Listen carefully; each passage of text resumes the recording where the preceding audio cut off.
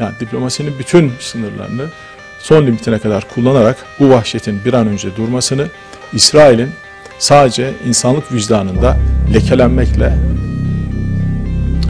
e, kalmayıp aynı zamanda e, hak ettiği cezaya bir an önce çarptırmasının mücadelesini vermeye devam edeceğiz değerli arkadaşlar. Gazze'ye gelecek olursak Gazze meselesi e, değerli arkadaşlar e, sizin de sorunuzda ifade ettiğiniz gibi özellikle e, son günlerde e, 2 milyona yakın e, Filistinlinin e, Gazze'nin güneyinde Refah bölgesine sıkıştırılmasıyla çok yeni ve daha önce beş, e, eşi benzeri görülmemiş bir e, dram seviyesine, trajedi seviyesine ulaşmış durumda.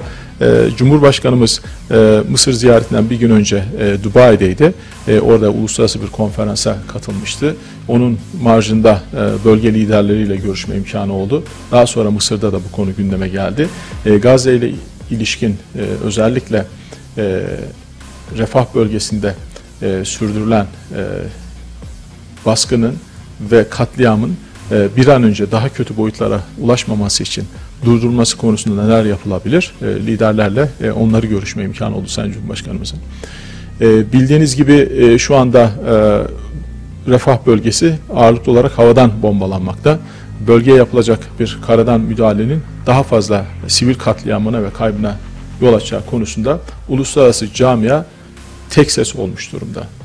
E, bütün ülkeler, bütün siyasi liderler teker teker e, beyan, beyanatlarda bulunuyorlar ve İsrail'e uyarı veriyorlar. Yani özellikle e, Refah bölgesine bir saldırı olmaması, artık e, dayanacak hiçbir gücü kalmamış, e, aç ve sefil durumda olan e, sivil nüfusun daha fazla baskı altına ve katliama maruz bırakılmaması konusunda çok ciddi uyarılar var. Ee, İsrail'in bir an önce bu uyarıları dikkat almasını da bekliyoruz. Özellikle Uluslararası Adalet Divanı'nın almış olduğu ihtiyari tedbir kararının bir an önce uygulanması bu konuda elzemdir diye düşünüyoruz. E, Cumhurbaşkanımız ayrıca e, Gazze ile ilişkin devam eden e, ateşkes görüşmeleriyle ilgili de e, bilgi aldılar. E, oradaki kendi e, gözlemlerini ve yorumlarını da aktardılar. E, şu anda biliyorsunuz taraflar arasında e, Mısır'ın ve Katar'ın e, kolaylaştırıcılığı ve arabuluculuğuyla devam eden bir e, ateşkes süreci devam etmekte. Fakat henüz bir anlaşmaya ulaşılmadı. Bunun için çalışmalar devam ediyor. Bunun bir an önce hayata geçmesini ve özellikle e, insan katliamının bir an önce durmasını Filistinli kardeşlerimizin e, başta kuzeydeki evleri olmak üzere bütün e, yerlerinden edilmiş kardeşlerimizin yerlerine dönmesini e, umut ediyoruz. E, Türkiye e, özellikle yardım konusunda elinden geleni e, büyük bir hassasiyetle ve dikkatle yapıyor. Mısır'la bu konuda yoğun bir işbirliği içerisindeyiz. Mısır'a bu konuda verdikleri destek için de ayrıca e, teşekkür etmek e, istiyoruz. E, yani Kızılay'ımız, AFAD'ımız, sivil toplum örgütlerimiz, e, diğer kurum kuruluşlarımız, e, bakanlığımızın koordinesinde muazzam bir e, insani yardım faaliyeti içerisindeler. Ama maalesef refahtan içeriye alınabilen günlük yardım miktarı sınırlı olduğu için istediğimiz miktarda veya gönderdiğimiz miktara denk düşebilen bir orantıda içeriye yardım maalesef giremiyor. E, bunu artırmanın yolları konusunda uluslararası toplumla beraber e, çalışıyoruz. E, önümüzdeki iki hafta içerisinde çok önemli üç tane uluslararası e, platformda e, görüşmeler olacak değerli arkadaşlar. Buranın e, hiç şüphesiz ki bir numaralı maddesi e, Gazze meselesi olacak.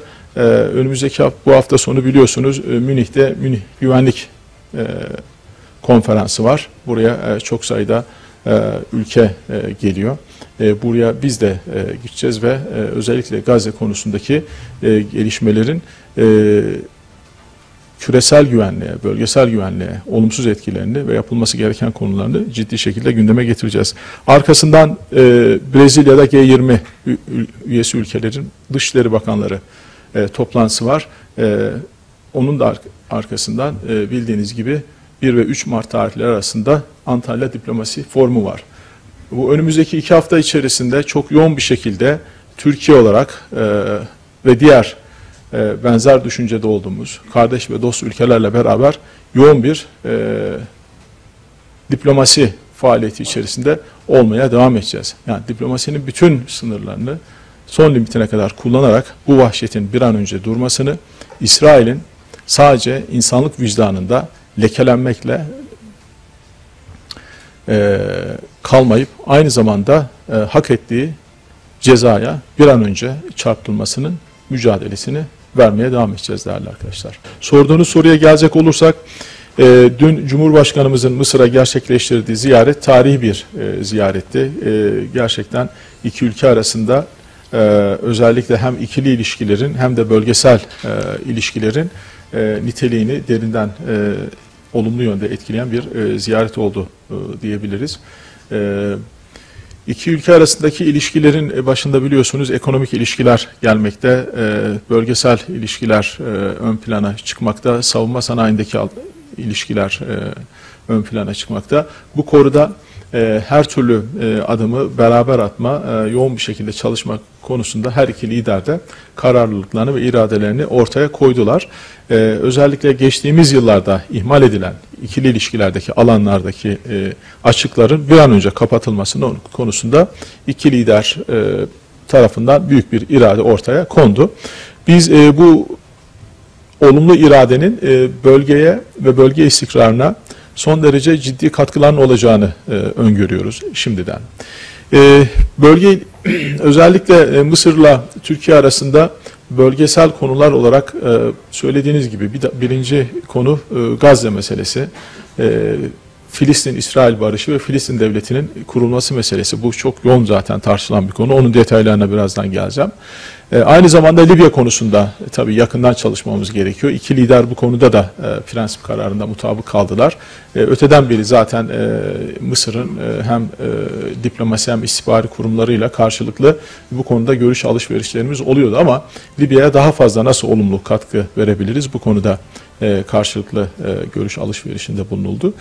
Diğer e, bir konu da özellikle Afrika'da çatışmaların önlenmesi konusunda genel bir mutabakat var. Başta Sudan olmak üzere iki ülkenin yakından çalışabileceği, buradaki çatışmaların durdurulması, sona erdirilmesi konusunda ne türden bir yaklaşım sergilenebilir. E, ona da e, değinildi. Aynı zamanda Somali'nin e, son günlerde biraz tartışmaya açılan e, detayına da girmek istemediğim e, toprak bütünlüğüyle ilgili problemler var. İki ülke bu konuda kendi ortak yaklaşımlarının benzerliği üzerinden nasıl bir ortak hareket tarzı geliştirilir bu konuyu da görüşme imkanları oldu liderler arasında. E, ve buradaki pozisyonlarımızı tekrar e, birbirimizle paylaştık. Bölgenin bir an önce e, istikrara kavuşması konusundaki arzumuzu ve yapıcı pozisyonumuzu nitele, yineledik. Aynı zamanda Karadeniz güvenliği için de e, görüşlerimizi birbirimizle paylaşma imkanımız oldu. Karadeniz güvenliğinin iki ülke için e, sadece bir işbirliği alanı değil, aynı zamanda ülkelerimiz için yaşamsal bir hayati çıkar alanı olduğunu görüşünü tekrar teyit ettik. Yine bu vesileyle bölgesel gelişmeler arasında e, Ukrayna Rusya arasında devam eden savaşa e, girdik. Ukrayna'nın toprak bütünlüğü ve egemenliğine olan desteğimizi karşılıklı olarak bir kez daha vurguladık. Bu savaşın uluslararası